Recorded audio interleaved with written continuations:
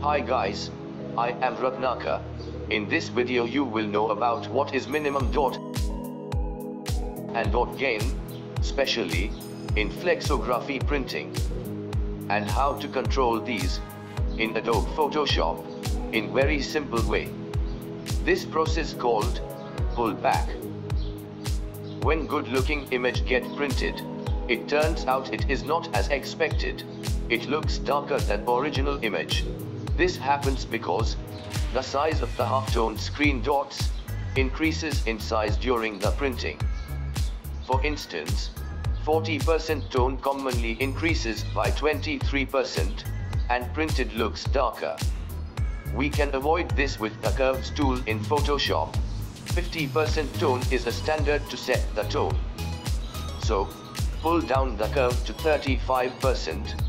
This will affect on all up and downs of 50% proportionally. Now open the image in Photoshop.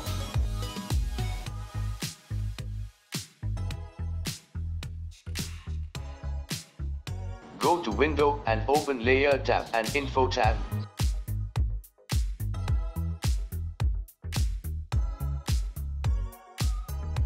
Duplicate the layer.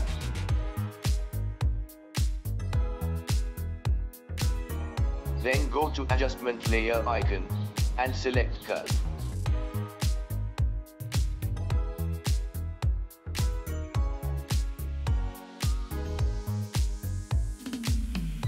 To make a dot gain curve, click a point on diagonal line and insert input 50% and output 35%.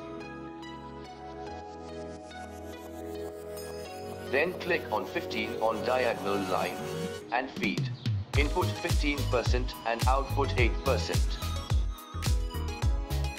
Then click on diagonal line on 8 and insert input 8% and output 4%. Click on diagonal line on 2 and insert input 2% and output 2%. Finally, to set minimum dot, select 0 endpoint of diagonal line. Put 0% input and 2% output.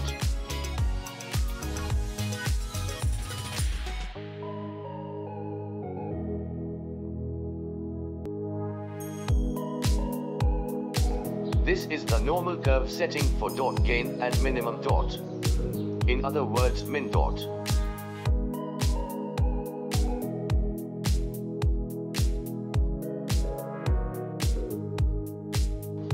Now, open the saved document.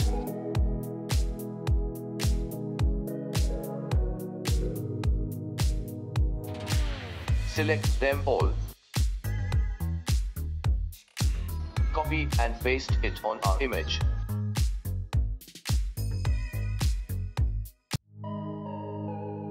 Fifty percent, fifteen percent, eight percent, two percent CMYK, and 0% swatches.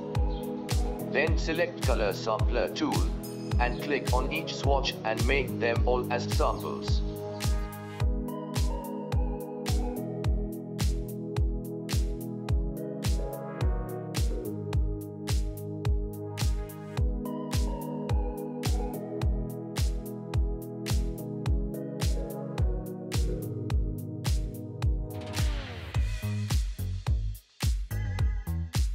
Now check those in Info tab.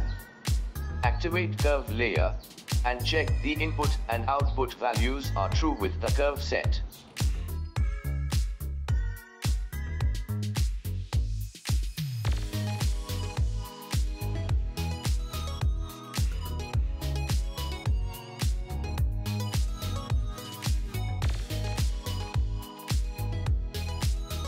We won't find 0 or 1% dot anywhere.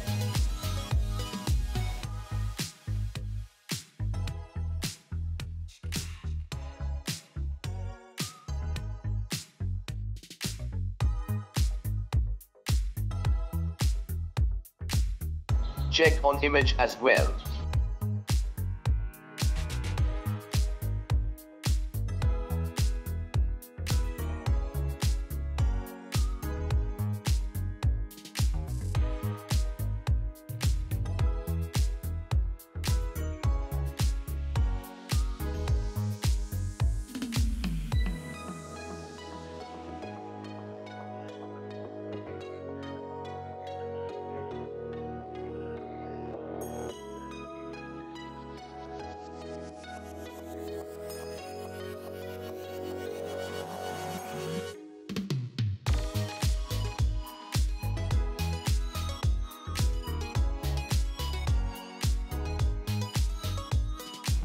Few things about minimum dots, or min dot. Means, the smallest size of printable dot that appears on the plate and prints as it is on the substrate. For flexo process, minimum dot is 2%. The dot below this should be replaced with 2%. This can be done by curves tool in Photoshop. It helps to bump curve process on CTP to produce smooth result. Otherwise, smaller than 2% dots may stand on the plate, but collapse under pressure during printing, and causes spreading and ink instability called spume dot. Broken dots spoils highlight areas of the image. These basic things explained here briefly. Thanks for watching this video, don't forget to click subscribe for further detail updates. Bye.